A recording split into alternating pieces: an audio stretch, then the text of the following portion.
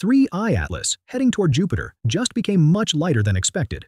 Recent analysis revealed it's releasing dust particles 1 million times heavier than normal comets. Lighter parent, heavier debris. That's not how physics normally works. 3I Atlas weighs 44 billion kilograms, much lighter than initially calculated. Normal comets release microscopic dust around 1 micrometer. But 3I Atlas particles around 100 micrometers, 100 times larger, and 1 million times more massive. According to Harvard scientist Avi Loeb, this particle size is highly unusual.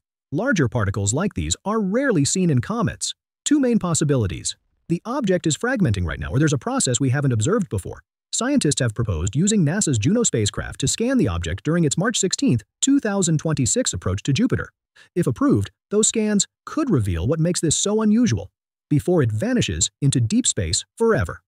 What's your theory? Comment below. Subscribe for updates on the March 16th approach